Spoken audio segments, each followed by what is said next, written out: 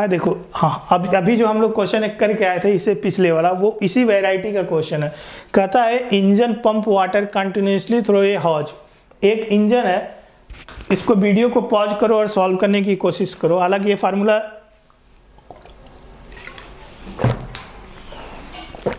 कहता है, इंजन है वाटर पंप करता है कंटिन्यूसली थ्रो ए हॉज एक पाइप के हेल्प से A water leave the hose with velocity b and m is the mass per unit length of the water. What is the rate at which the kinetic energy imported to the water?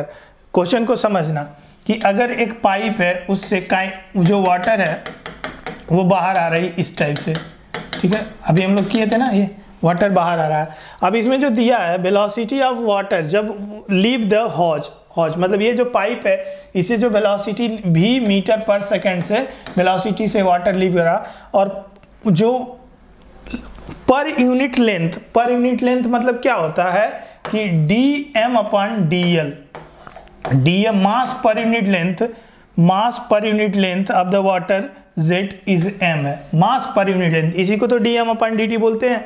D m upon d l बोलते हैं मास per unit length M है। ठीक है? Clear है? What is the rate it was kinetic energy imported to the water जो engine है, वो कितनी काइनेटिक एनर्जी वाटर वाटर को इंपोर्ट कर रहा यार। Rate of kinetic energy kinetic energy नहीं निकालनी है। The rate of kinetic energy निकालनी है। तो इसमें से रेट ऑफ़ काइनेटिक एनर्जी कैसे निकालेंगे यार? ठीक है, पहले तो काइनेटिक एनर्जी लिखो।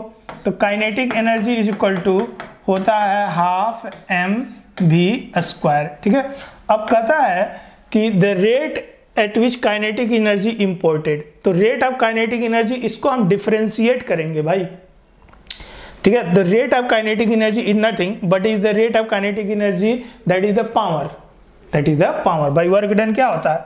वर्क डन वर्क डन होता है वर्क डन होता है work done upon time T that is the power और वर्क डन क्या है? एनर्जी है. That is D upon D W upon D T D W upon D rate of doing work या per second rate of kinetic energy that is the power है. ठीक है? तो इसका मतलब ये हुआ कि हमें रेट ऑफ़ काइनेटिक एनर्जी निकालना मतलब इसको हमें डिफ्रेंशिएट करना पड़ेगा विथ रिस्पेक्ट टू टाइम तो रेट ऑफ़ काइनेटिक एनर्जी हमें चाहिए rate of kinetic energy rate of kinetic energy rate of kinetic energy कैसे निकालते हैं भैया किसी चीज़ का रेट ठीक है? By d k upon d t ऐसे ही तो नहीं था। टाइम के रिस्पेक्ट डिफरेंशिएट करते।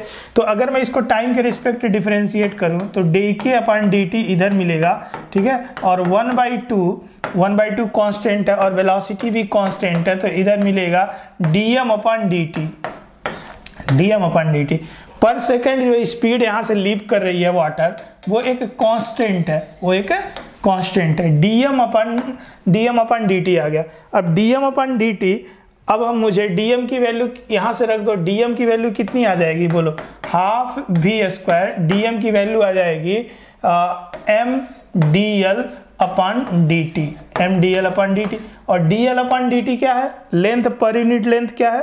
ठीक है ए हाफ़ एम और v square and d l upon d t it's nothing but is the speed ठीक है? तो इसका मतलब ये हुआ कि हाफ़ एम वी की power cube that is the rate of kinetic energy imported that is rate of kinetic energy imported per second and that is the power ठीक है? अभी आप किए थे, इसे पिछले वाले में, मैं यही डायरेक्ट लगाया था। यही वाला मैं डायरेक्ट लगाया था। मतलब half m v cube that is यहाँ से ये डी ऑप्शन हम लोग का सही बनता है इस पर ठीक है? चलो।